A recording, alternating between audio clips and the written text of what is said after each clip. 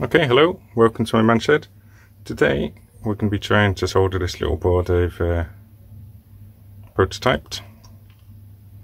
And it is a Spectrum 4164 DRAM tester. We put the chip in there. Ta-da! Uh, close, close the insertion socket.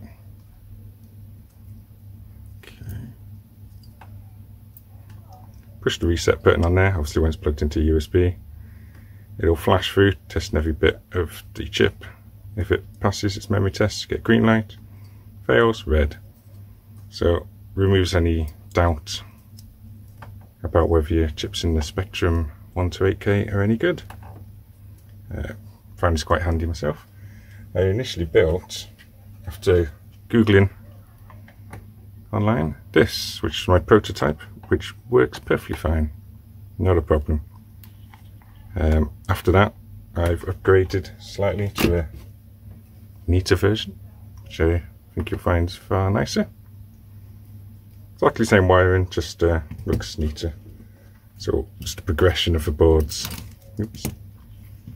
Prototype, improved prototype, new prototype. And I've also designed a PCB which I'm waiting for the boards to arrive now, but that's going to be next week or two. So whilst, whilst we're waiting, thought we'd uh, solder this up and give it a try. Got some new wire to try as well, which is really cool. Wire wrapping, so this is a finer, finer wire than maybe what I'd normally use. See? So this is the first time I've been using this type of wiring perfect for track repair and stuff really.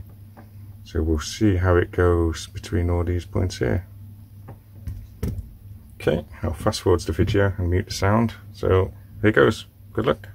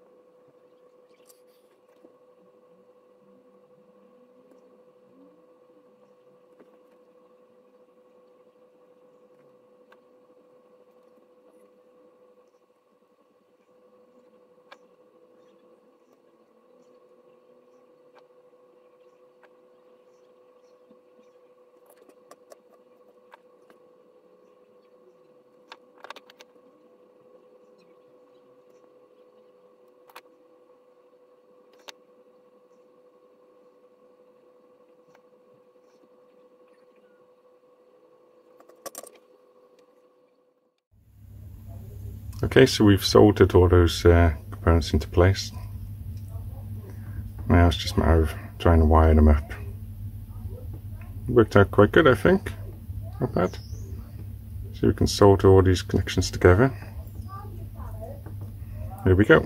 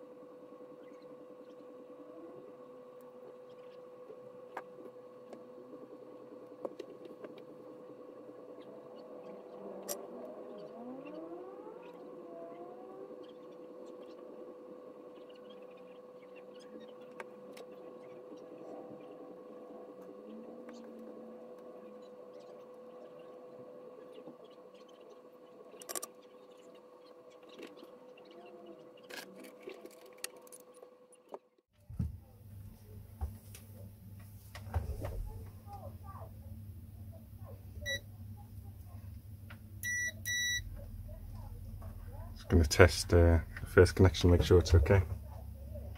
So we've gone from the first pin there to the fourth pin up there. So first pin to fourth pin up on the other side. One, two, three, four. There you go, so we can confirm we're not actually touching any other pins, so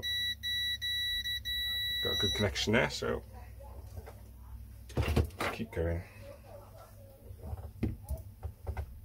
In two minds, if you can see, whether to just solder the wires straight to the connection there, which is easier, or maybe a better method is to solder it into the pin next to it and then bridge the gap. More of a secure method maybe. Mm, we'll try a bit of both and see what we settle with. First one.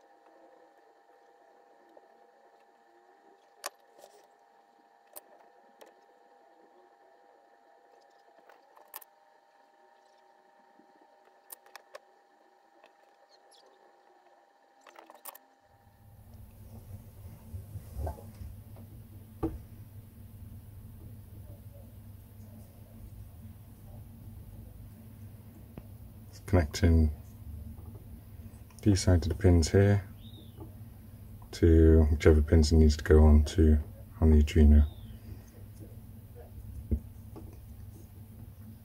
Still a bit more to do. We've got these the pins and obviously the lights, LEDs through the resistor back there.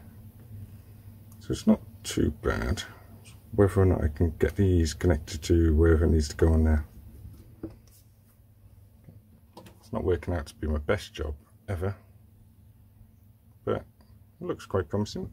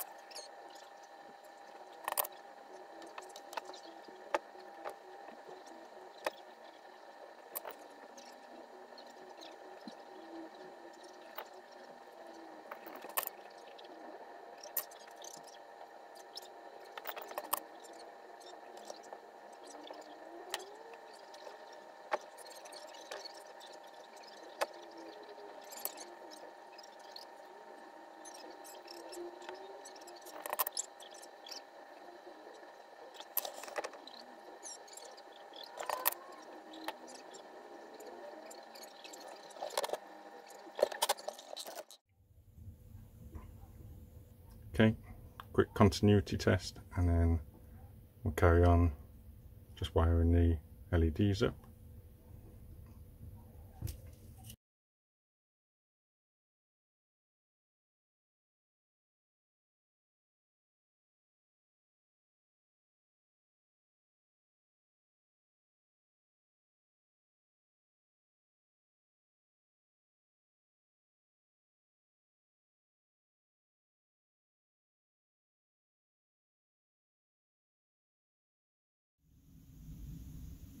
Okay, and here's the finished result. I know I skipped a little bit then, but the video cut out. Um, my ZIF socket, which I added for convenience, is broken. It's the only one I had. I'm not going to desolder it again now. So it's a bit of a pain getting the chips in, which ironically is really stupid because it's there to make it easier to swap the chips. As you can see, you put a Spectrum 4164 memory chip into the socket. Here's a bad one. I know this one's bad. And this should be a good one. So it takes up to three minutes testing. These are my good ones because I've tested them on my other board. So hopefully after three minutes, up to three minutes, should have a stable green light showing that this chip is fine and then I'll show you what happens when you put a bad memory chip in. Uh, so the only thing when my printed circuit boards come is to bear in mind that if you have a look at my schematic here, this wire is actually a V in, not a V out. Um, so my PCB will be wrong, so I'll have to cut that jack and connected to there manually, that's all. Which might be, might be easy. We'll have a look when it comes, but it should be just a matter of jumping across from there to there and cutting that one. And then my PCB design should be fine, I think, basically. Um, that was the schematic I did. This is done in KiCad. Um, so, as you can see, this is what we've got here. That's my ZIF socket, which I made myself, I think, because I don't know if I've got the right size of that when the PCB comes, but we'll see. It's just a bit of guesswork, bit of fun.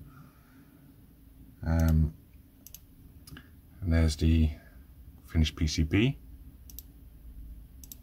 Go 3D viewer.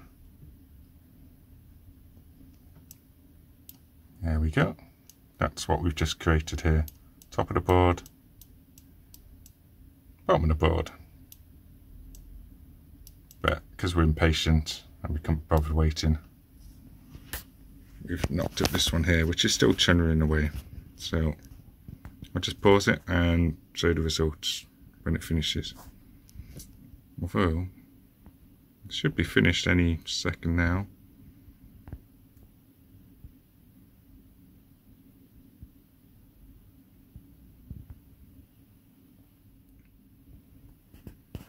Okay, that took a while, so I paused it.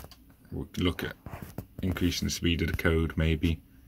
Um, as you can see, after about four minutes, I think it was, uh, we've got a stable green light showing that this particular chip is fine and happy. Let's show you the back of the board. So you can see the finished results. Massive wires. So you can see why printed circuit boards would be nicer. But this will work fine. Unfortunately my ZIF socket was broken, I don't have another one. No, I'm not going to change it. So I'll just put in the uh, chip which Okay, so now we've put in the chip we know is bad. Um, and I've returned the good working chip to there.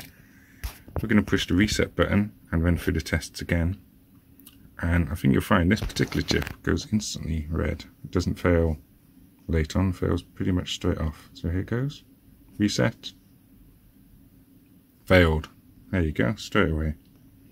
So we know for sure this chip is no good and it's not going to go into any of the spectrum ever again.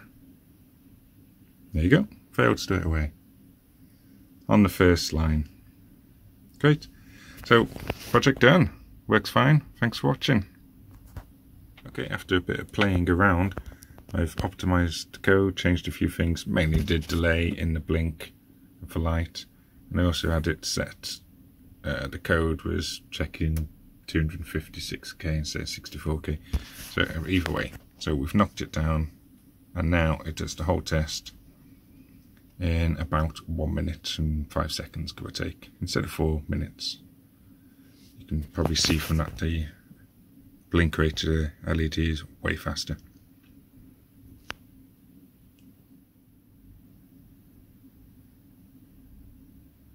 Done. There you go. Well, I think it might have been 1 minute 20. Either or. Green light. That chip is good. It can go back in my supply. Thanks for watching. See you next time.